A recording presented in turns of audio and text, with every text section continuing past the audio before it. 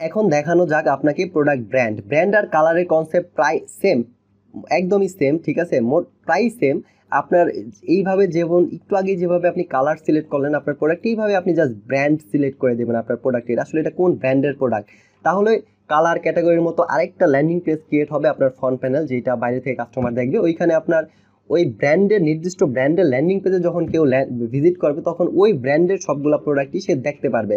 So এটা কি brand এটা হচ্ছে অনোলা ব্র্যান্ডের একটা প্রোডাক্ট সো এই ব্র্যান্ড ব্র্যান্ড ব্র্যান্ডই অ্যাড করা নাই। সো এইভাবে চলেন একটা ব্র্যান্ডও অ্যাড করেই দেখাই। যদিও এটা ক্যাটাগরি ম্যানেজ সরি প্রোডাক্ট ম্যানেজমেন্টের পার্টনার বাট এটা বেশি টাইম লাগবে না। চলেন, এই জন্য দেখাই।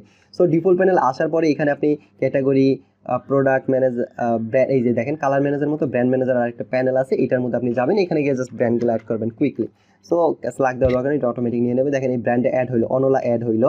সো জাস্ট এখন চলেন, এইভাবে আপনার যত ব্র্যান্ড আছে, এগুলো আপনি আগে থেকে অ্যাড করে রাখবেন।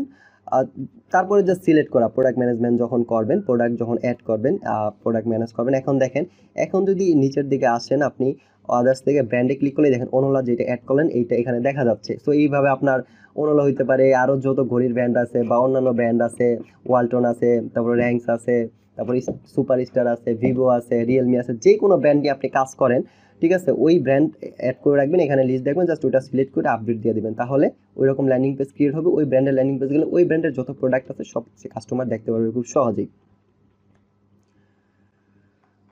সো আশা করি ব্র্যান্ড আপনার ক্লিয়ার এখন ব্র্যান্ড আপনি আপনার প্রোডাক্টের জন্য খুব সহজেই ম্যানেজ করতে পারবেন।